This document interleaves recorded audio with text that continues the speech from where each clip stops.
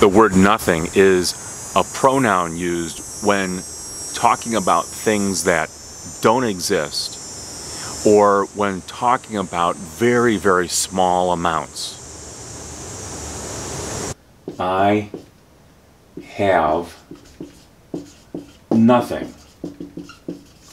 So here's the subject, this is the verb, this is the object. This is the same thing as saying, I don't have anything. I have nothing or I don't have anything. They mean the same thing.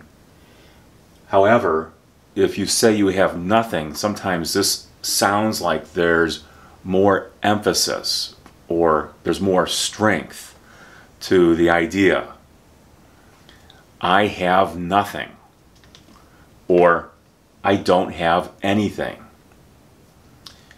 It depends on the situation.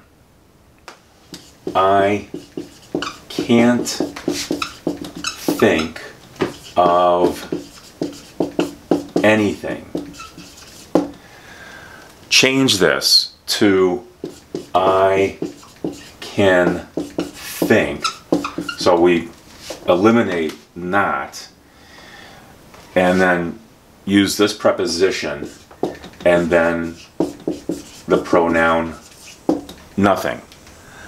I can't think of anything. I can think of nothing.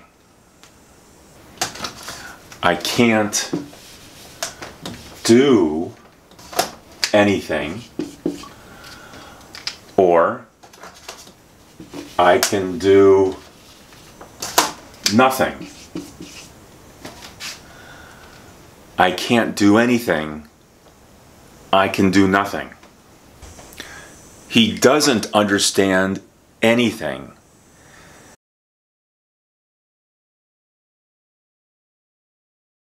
He doesn't understand anything becomes he understands nothing.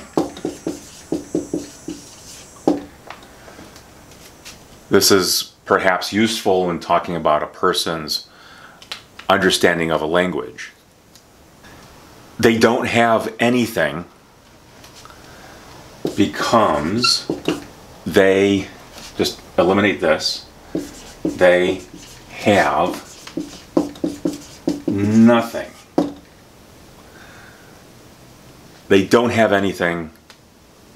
They have nothing. I don't know anything about that.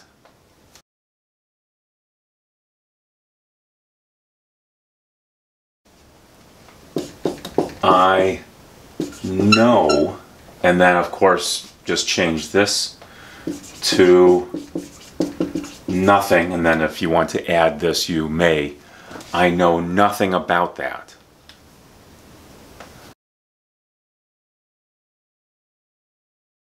Nothing is commonly used when making comparisons. For example, nothing is better than, and then this is the thing that's really good or the best. So here's the subject, this is the verb, and then here's the comparative, and then this is the thing. Nothing is better than chocolate ice cream. Nothing is better than chocolate ice cream. You can also use nothing when comparing two things or two people. For example, she looks nothing like her, and then we could put the person here. She looks nothing like her sister or mother. In this case, nothing is an adverb that modifies the verb look. She looks nothing like her sister. Or, this tastes nothing like chicken. Somebody tells you that something tastes like chicken and you don't think it does, you disagree, and then you'd say something like this This tastes nothing like chicken. Again, the word nothing is functioning like an adverb that modifies the verb taste. Or we could put nothing at the end of the sentence and say something is better than nothing. Something is better than nothing. So you'll hear a person say this when he or she or a group has a very small amount of something, which is better than nothing, whatever it is. Could be food, could be a place to live, clothes to wear, a job.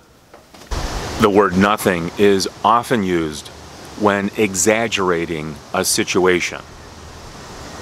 What are you doing today? A popular answer to this question would be nothing. Even though you might have some plans, it's common for someone to answer with nothing. What did you do at school today? This is a question your parents might ask you. A common answer is nothing.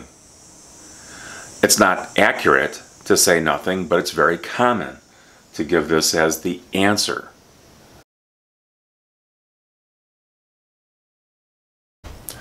What did you do yesterday? And the answer, nothing. But of course, something did happen. A person did something yesterday, and it's very likely in this question the person is doing something, but again, the answer is just nothing. If you see someone deep in thought, this question might be asked What are you thinking about? And a common answer is nothing, even though the person is probably thinking about something or something important.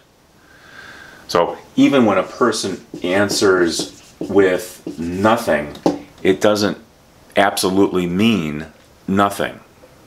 I have to go shopping because we have nothing in the refrigerator.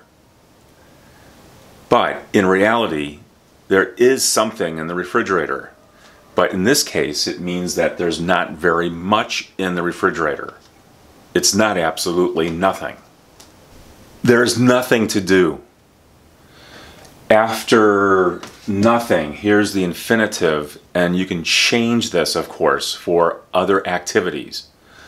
There's nothing to do, there's nothing to eat, there's nothing to watch on TV. Notice how many statements begin with there's nothing and then followed by more. If you hear it's nothing, this is usually in response to something another person says. It could be um, the existence of a problem or the perceived existence of a problem. For example, if someone says, What's that noise? So here's the question, and then the person who responds and doesn't hear anything or doesn't perceive of a problem can say, It's nothing. The last thing to mention about the word nothing is that when people pronounce this word, often they drop the G, and so it sounds like nothing. Instead of nothing, nothing. It's nothing. However, when you speak English, I recommend that you pronounce the word as nothing with the G.